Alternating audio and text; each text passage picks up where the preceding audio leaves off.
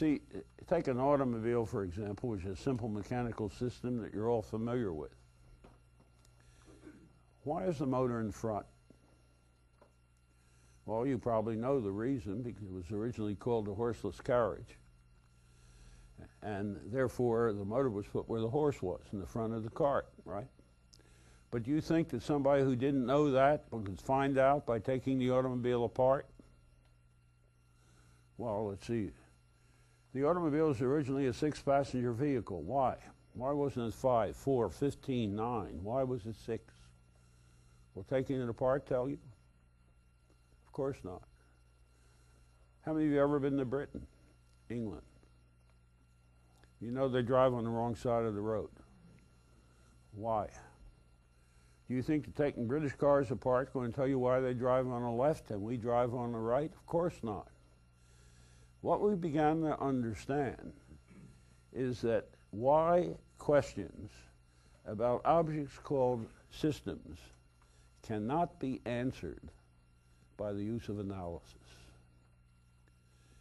Now, answers to why questions are called explanations, and the product of explanations is understanding. And what we became aware of in the 1950s was science produces no understanding, it produces knowledge. Because the product of analysis is how things work, never why they work the way they do. We needed a new way of thinking to provide explanation and therefore understanding. Explanations always lie outside the system, never inside it. Analysis takes you into the system and how it works. It provides knowledge, but not understanding. We need another way of thinking, which not surprisingly is called synthesis, that provides explanations of the behavior of a system. Synthetic thinking consists of three steps, which are exactly the opposite of analysis, each one. In the first step of analysis, you take whatever it is that you want to understand, you take it apart.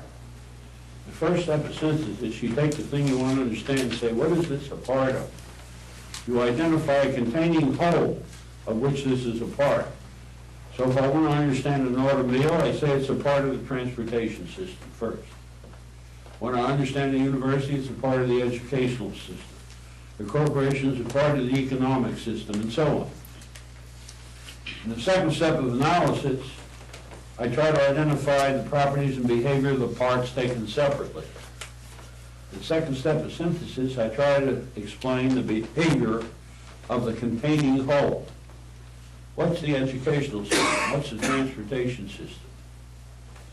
In the third step of synthesis, I try to aggregate understanding of the parts into an understanding of the whole. In the third step of synthetic thinking, I disaggregate the understanding of the containing whole by identifying the role or function of what I'm trying to explain in that whole. A system is a whole, spelled with a W, that's defined by its function in a larger system of which it's a part. Every system is contained in a larger system, and its role or function in that system is what defines it. So if you take the automobile, coming back to that again, it's defined by the fact that it's an instrument for carrying people from one place to another on the ground, under their control and in privacy. So you describe its function, what it does. You don't describe how it does it. If you want to define a computer, you don't talk about how it works, you talk about what it does, what functions it performs, data processing, calculation, and so on. All systems are parts of larger systems. Every system, then, is defined by its function in a larger system. In order to perform that function, it requires essential parts. These are parts which are necessary for the performance of the function, but not sufficient. So, for example, the motor is necessary for an automobile. You can't run without a motor. It doesn't need a windshield wiper to run. It doesn't need a door handle, doesn't need a cigarette lighter or rugs on the floor. But the motor, the battery, the fuel pump are all essential. Well, that means then that an essential property of a system is that it cannot be divided into independent parts.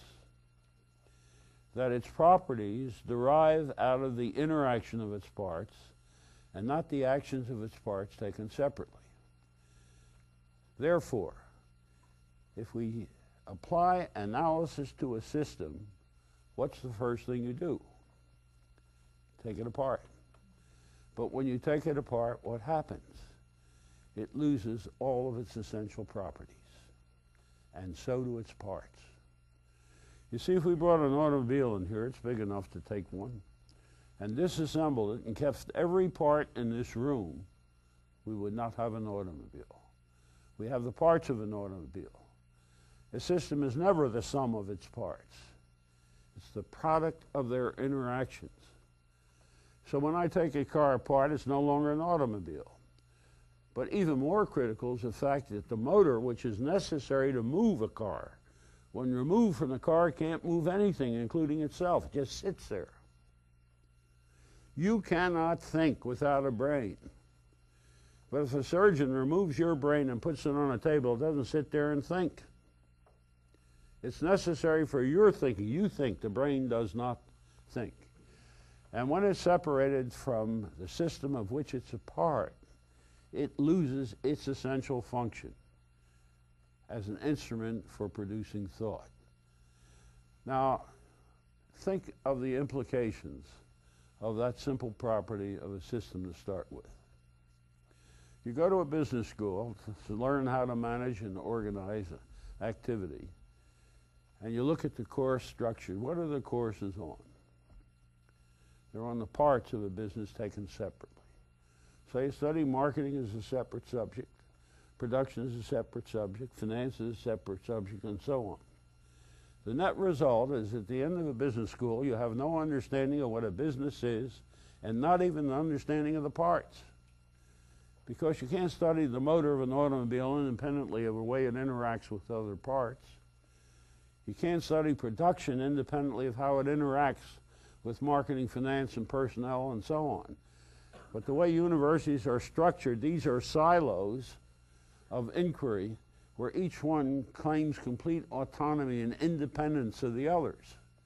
And to the extent that they succeed, they emasculate the subject, take all the content out of it.